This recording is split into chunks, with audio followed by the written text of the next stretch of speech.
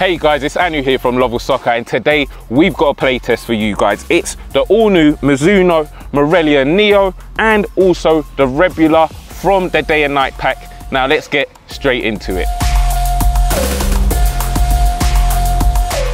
Let's begin firstly with the Morelia Neo. Now it comes in blue, white and orange with the branding mainly done in white and you can see it's predominantly a blue boot. Tech-wise guys, if you're a big fan of leather, then this is a boot you should be taking a look at. It's made out of K-leather known as kangaroo leather and it's really soft, really responsive and it's just gonna enhance your touch and comfort whilst playing.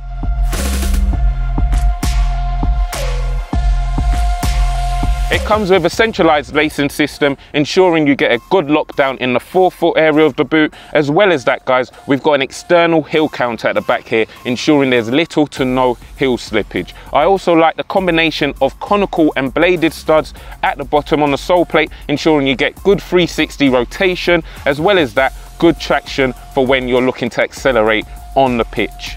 So these Mizuno Morelias, I've got to say, guys, they are ridiculously light. So if you're kind of a speed player looking to beat your defender or beat your man, these are definitely a boot you want to be taking a look at. Now let's take a closer look at the Rebulas. They also come in what I would say is a lighter shade of blue with the branding done in white also. There is also a hint of an orange accent color coming through the studs. Now tech wise guys, Again, it's a K leather upper, kangaroo leather upper, really soft, really responsive. Even on the touch, you can see the creases and it's only gonna add to the comfort while playing in these and also the touch you make when making contact with the ball. Replacing the traditional tongue, Mizuno have included a mesh inner liner for a more snug fit, which runs from the forefoot into the sole plate. There is a CT frame which is made out of foam, ensuring yet again better comfort and not only that, adds to the integral structure of the boot.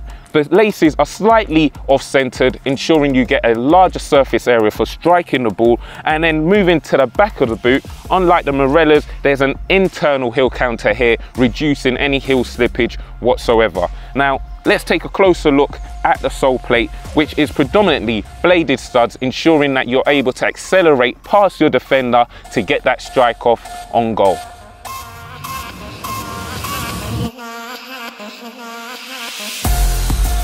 So guys, we've come to the end of the playtest today. Now, if you're a traditional player and you love your leather uppers, that kind of soft cushion sensation, yet you love the lightweightness of the modern day boot, then this is definitely a boot you definitely want to be taking a look at. You can do so on the Lovell Soccer website. I'll leave the link in the description below to where you can do so. But until next time, guys, see you later.